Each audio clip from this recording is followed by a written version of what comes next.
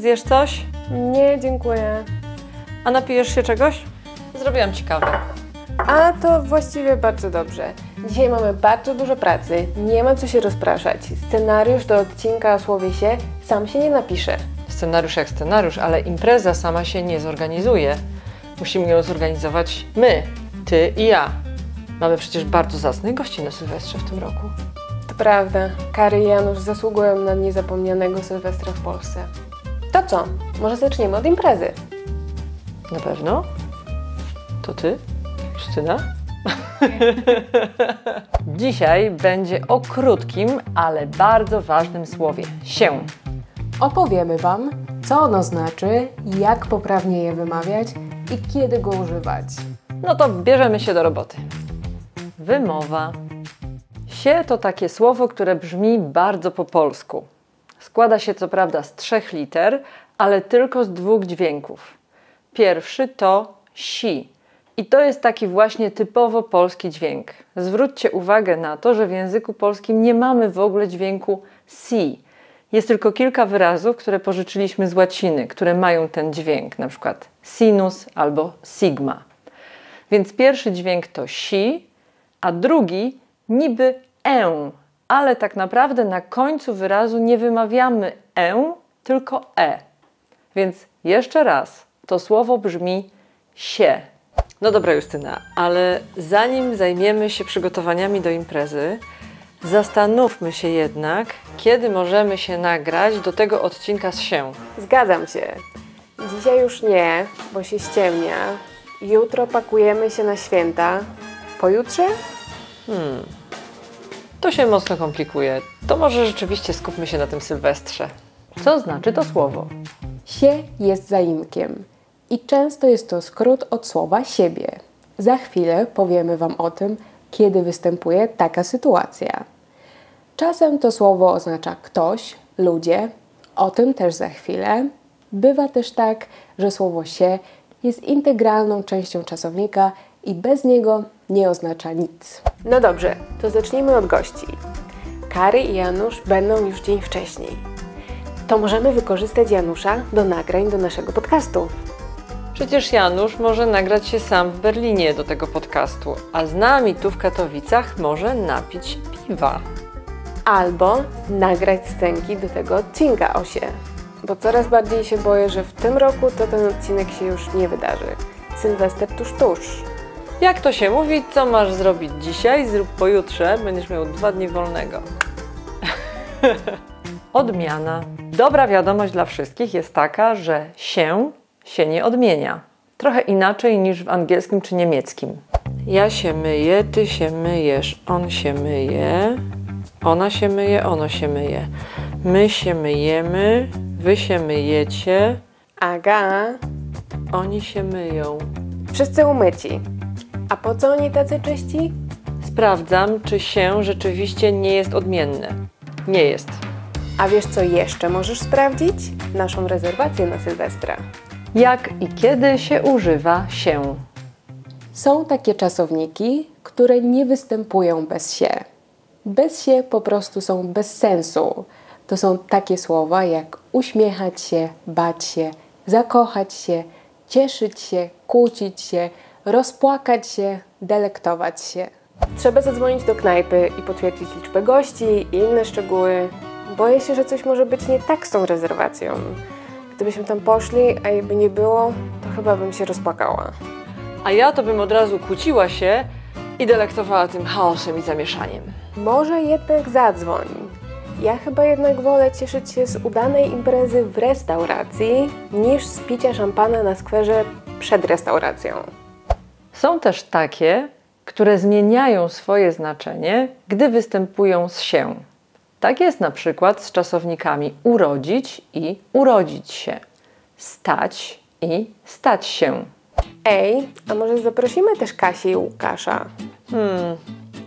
Możemy, ale oni na pewno nie przyjdą. Kasia przecież kilka tygodni temu urodziła, więc na pewno nie przyjdzie na imprezę do knajpy z takim maluszkiem. Ja się urodziłam pod koniec roku. Właśnie zrozumiałam, że zepsułam moim rodzicom Sylwestra. Nie ten jeden Sylwester im zepsułaś, więc się tym nie zamartwiaj. Skup się lepiej na naszym Sylwestrze. Najważniejsze na naszym Sylwestrze jest, żeby nikt nie stał w kącie. Wtedy impreza stanie się naprawdę fajna.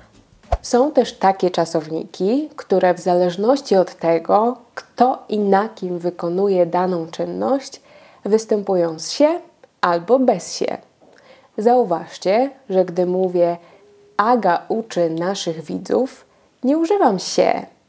Aga wykonuje jakąś czynność, ale na kimś innym, w tym przypadku na widzach.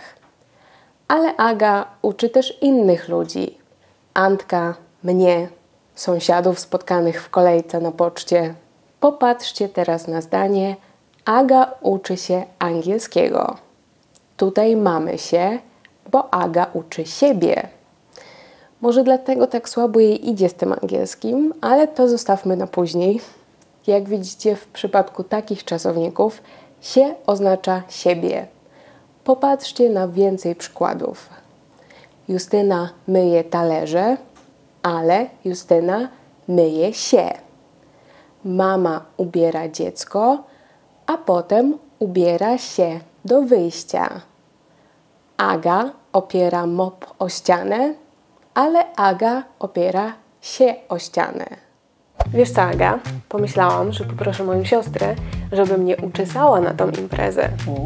Co sądzisz o takim koku? No spoko, zaszalej. Ja na pewno uczeszę się sama. A w co się ubierasz? No nie wiem, Marysia chce mnie ubrać w taką cekinową sukienkę. Mówi, że to najwyższy czas na taki strój. Ja to najchętniej założyłabym dres. Założę się, że zrobiłabyś furorę na parkiecie. Mhm.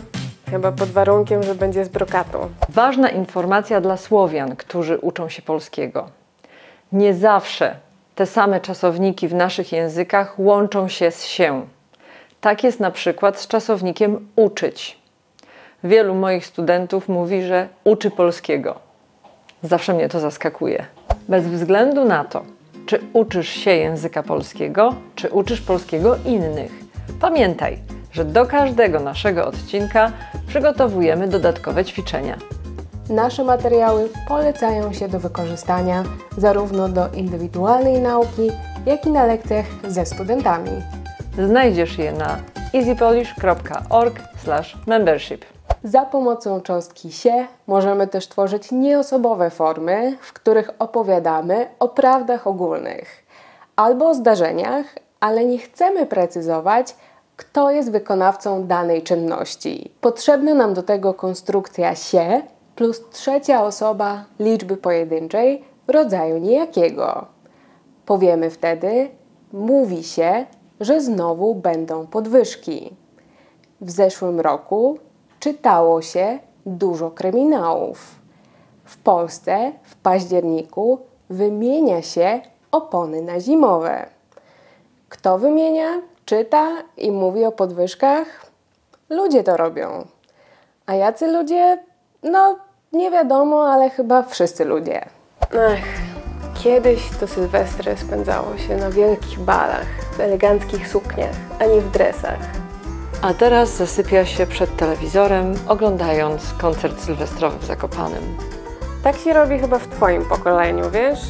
W mojej generacji to się chodzi na domówki albo do klubów. Pozycja w zdaniu. Sie nie jest na stałe przyrośnięte do czasownika, z którym się łączy. To ruchoma cząstka, która lubi skakać na różne pozycje w zdaniu. Ale to oczywiście język polski, więc mamy kilka zasad, o których warto pamiętać. Po pierwsze, nie zaczynamy zdania od się. Nie powiemy się zastanawiam nad tym, co powiedziałeś, tylko zastanawiam się nad tym, co powiedziałeś. Po drugie, staramy się nie kończyć zdania słówkiem się, chyba że nie ma innego wyjścia. Gdy na pytanie, co robisz, chcemy odpowiedzieć myję się, to oczywiście musi być na końcu się, bo nie zaczynamy zdania od się. Ale na pytanie, co zawsze robisz rano, odpowiemy rano zawsze się myję, a nie rano zawsze myję się. A czy my mamy zamówioną kolację? Planujemy tańce, ale trzeba też najeść się. Dosyta. Nie kończ zdania na się. Tak, najeść się dosyta. I napić się. Byle nie za dużo. Okej, to zanim zadzwonisz do tej knajpy i wystroisz się w twoje cekiny, To ja może jeszcze zapytam naszych gości, czy mają jakieś życzenia dotyczące menu. Okej. O nie! I po trzecie, jeżeli w zdaniu występują dwa czasowniki z się, to jedno trzeba opuścić. Na przykład ubierz się, uczesz i wychodzimy. Obróciła się i potknęła o własne stopy. Aga, wszystko w porządku? Chyba nie. O nie. Kari pisze. Przeziębiłam się i pochorowałam okropnie. Leżę w łóżku, pocę się i trzęsę z zimna jednocześnie. Przepraszam, nie przyjedziemy. Ale nie martwcie się, jak tylko wyzdrowieję, przyjedziemy do Katowic, a wtedy spotkamy się i pobawimy całą noc. No to nic z cekinów. Idę uprać mój najlepszy dres. Biedna Kari. Mam nadzieję, że szybko będzie czuła się lepiej. To co? Odcinek z się? To już wszystko na dzisiaj. Bardzo dziękujemy Wam za uwagę. My idziemy się teraz relaksować. A Wy napiszcie nam w komentarzach zdanie z nowym czasownikiem z się, który poznaliście w tym odcinku. No i pamiętajcie, że jak zwykle widzimy się za tydzień w czwartek o 19. Do zobaczenia. Pa!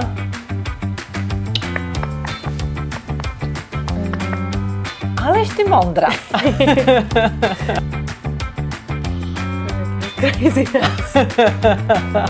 To możemy wykorzystać Janusza do nagrań do naszego podcastu.